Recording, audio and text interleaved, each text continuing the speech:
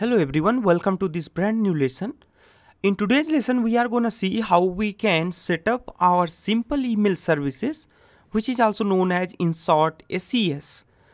Alright, so we'll be using this simple email services. You can simply search it here, SES, then there you get simple email services. A simple email services at AWS is used to send a bulk email for a marketing. Alright, Perfect. So once you click on SES, you will be getting a management console, something like this one.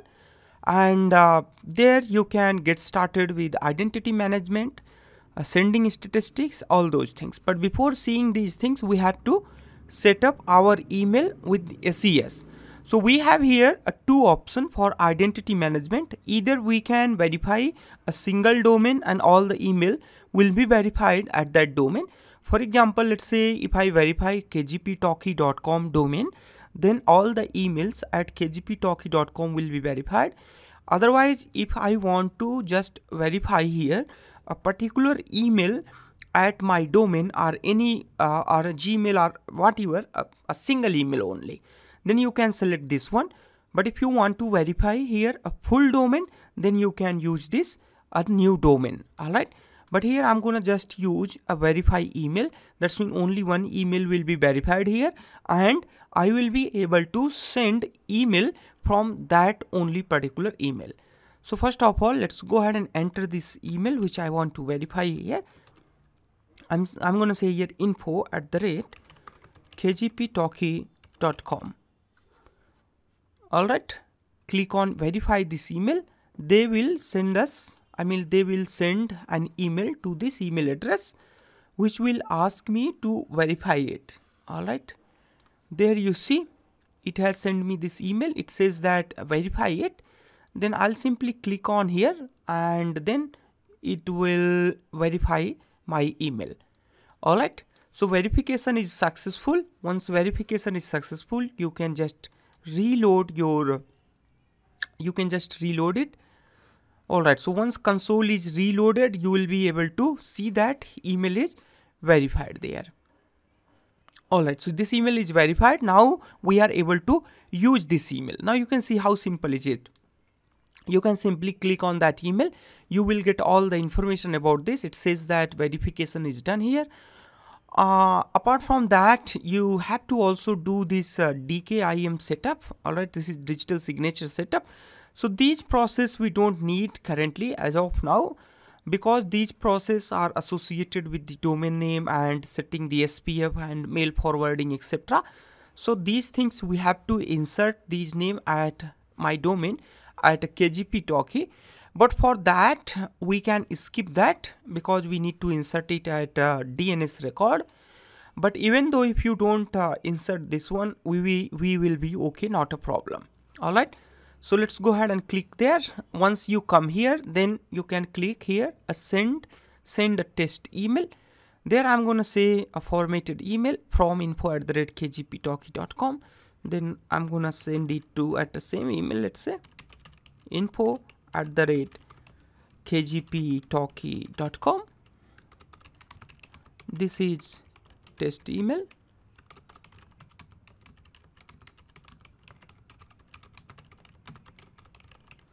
Alright, let's go ahead and send it.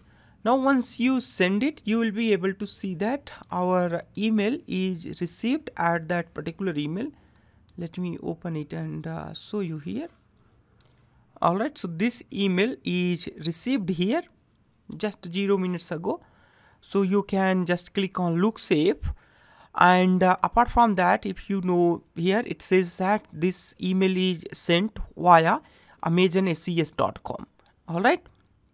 And thanks a lot for watching it. Thanks etc so these things i had sent here at this email info at the rate kgptalkie.com all right? Now what do you see here? It says that this email is sent from here and this email was found as suspicious by this gmail. To avoid those things you have to set up as i told you earlier that dkim setup. All right? So these things you have to insert in a DNS record. To insert it in a DNS record, how you can do that? You can simply follow this guide. Otherwise, if you know something about the DNS record you can go there then add DNS information then type their CNAME and then finally you can add this name and this value alright so there they might have some process to explain alright so I'm not gonna show you this DKIM setup. It needs access to my uh, DNS console. So we are gonna avoid that. Anyway so this is how you can send this email. Now the thing is here we are sending this email through our console. But how you can send this email via any programming language? So to send these details via any programming language you need here SMTP settings in SMTP settings, you need a server address, you need user ID, you need a password and a port. Alright, so we'll do this one, but before that, let me show you some statistics for you. So with this sending statistics, you will be able to see a sending statistics. It says that one email is sent, now 199 email is remaining. So it says that we are currently in a sandbox. In a sandbox, only 200 emails per 24, 24 hours are limited. And if you want to go outside of this sandbox that's mean if you want to go in production you can click on edit your account. Then you say I enable this production access. I want to say that. I want to do here transactional and marketing whatever you prefer here. Thereafter I'm gonna say here this kgptalkie.com all right. And uh, you have to do here a use case description I want to say here I want to send email to my user who subscribe me at who subscribes me at YouTube and Udemy and at kgptalkie.com all right? Thereafter you can simply say that okay please enable it. Thereafter additional contact address it says that. All right? And other things. I say that i accept this and then it says that okay i'm gonna give here some.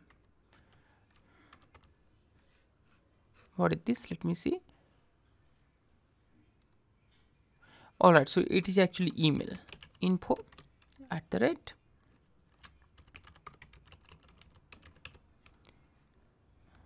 In fact i want to get it at udemy at the rate kgptalkie.com thereafter you can click on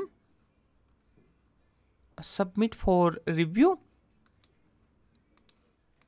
Is it not coming? Let me see why this is not coming perhaps website URL is wrong here.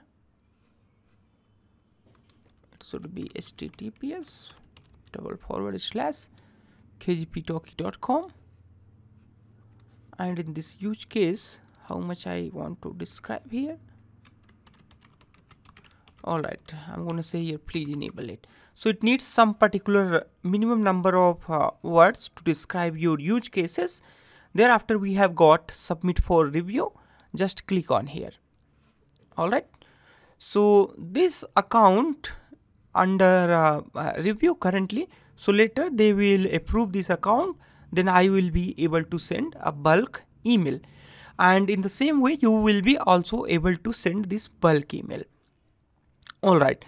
Now let's say by the time it is not in production mode and it is in sandbox mode what else you can do with this you can see here how many deliveries have been happening with your email which you sent, how many emails were rejected, how many emails were bounced and how many emails were complained. All right uh, uh, how many emails received a complaint from the email receiver that uh, sometimes user also complain email that they have not signed up for that uh, email list. All right and uh, you don't uh, uh, don't don't try to send emails to you know uh, in a bulk who have not signed up for you. Otherwise you might get banned at aws because they get statistics with rejection bounce and complaint. Based on that they decide the health of or reputation of your SES account. You can get the reputation from here. It says that 0% of bounce rate and 0% of a complaint rate so it's okay a dedicated IP says that if you want to assign a dedicated IP to your email which you want to send and there you have SMTP setting. There you have a server name and then there you have a port. All right? Then uh, you can type here smtp email sending. All right? So with this email smtp sending you can you, you can send the emails etc just by uh, settings information like user id and the email etc so there you will get a lots of information in in c sharp or uh, you know online etc whatever you want to say there. So you will uh, you will get this information. All right like the there this is smtp test send a check and email server. So this smtp check needs smtp host port login and password. Thereafter once you send it then you will be able to receive. All right it's like you can get here this uh, server name from here. All right. So this is i'm just showing you some some way. This is just a single process here. You can use any programming language to send your smtp email. So these are ports. Thereafter you can create a credentials from here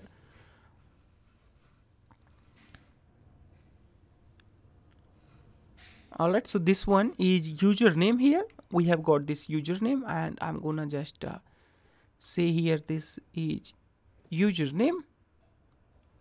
Alright and then there is a password.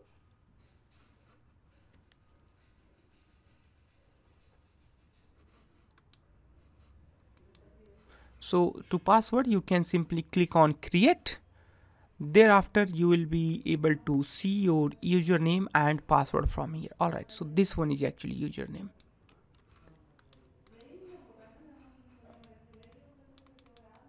All right so this one we have got a username. Thereafter we have got a password from here. Then you can simply put a password. Then i want to send it from info at the rate kgp talkie.com and then info at the rate kgptalkie.com then you can simply click on send. It will send the email. So this is one of the simplest simplest uh, smtp server. And apart from that you can use any languages which you want. You can simply uh, type there in python or whatever you want to send uh, whatever language you want to send. You will get here a lots of uh, you know the suggestion there uh, uh, they can send. All right so it's taking some time to send it. Otherwise default port is 25 if this port is not working then we can also use here another port. All right perfect. So this is how you can create this user. And if you want to delete that user you can simply click on there. So there we created this particular user to send our email. All right now i'm going to delete this user because uh, it's online lesson and uh, someone else might be able to use this. So i'm going to simply delete this one. All right? Perfect. And apart from that let me show you few more things. Uh, let's go ahead and come back to our aws ses services. All right. So we have deleted so it will not be able to send here Alright, so with the SMTP settings, you got to know that how we can do this SMTP settings and this was a server name. Alright, thereafter you can also do, uh, you can set the notification settings if you want to get the, uh, the information about your sending email statistics and other things. And if you want to verify more emails, you can simply on this one and then you can verify more emails and if you don't want to verify any emails simply you can click on remove and then this email will be removed from here. All right? Perfect. So this is how you can use amazon simple email services to send an email. All right? Bye bye have a nice day